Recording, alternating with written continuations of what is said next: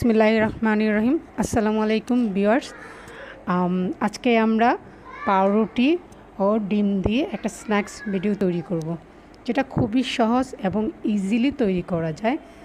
সময়ও বাঁচে, আর যারা চাকরিজীবী আছেন, তারা জটপট তৈরি করে ফেলতে- ফেলতে পারবেন। তো আসুন আমরা এই স্ন্যাক্স নাস্তাটির জন্য ফার্স্টেই আমরা পাউরুটি নিয়েছি।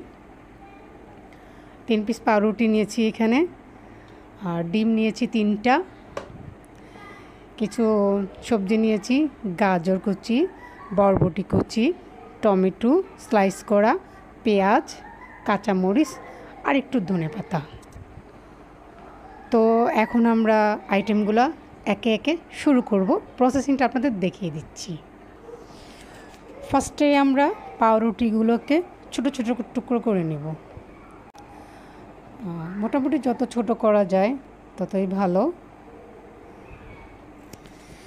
তো ফ্রেন্ডস আমাদের পাউরুটিগুলা স্লাইস হয়ে গেছে। এখন আমরা ডিমটা ফেটে নেব। আমরা এখানে তিনটা ডিম নিয়েছি। ডিমগুলোকে ভালো করে ফেটে নেব। কুসুম আর সাদা অংশটা একসাথে যেন মিক্স হয়ে যায়। হ্যাঁ আমার ডিমটা ফেটানো হয়ে গেছে। এটাতে আমি এখন লবণ দিব। এক চিমটি পরিমাণ লবণ দিলাম। হ্যাঁ এখন আমরা দিয়ে দিচ্ছি সাদা গোলমরিচের গুঁড়ো। হয়ে গেছে। এখন আমরা চুলাতে চলে এসেছি। আমি এখানে একটু বাটার দিয়ে নিচ্ছি। বাটার দিয়ে প্যানটাকে মালিশ করে দিচ্ছি। কারণ এটার মধ্যেই আমি স্ন্যাক্সটা তৈরি করব।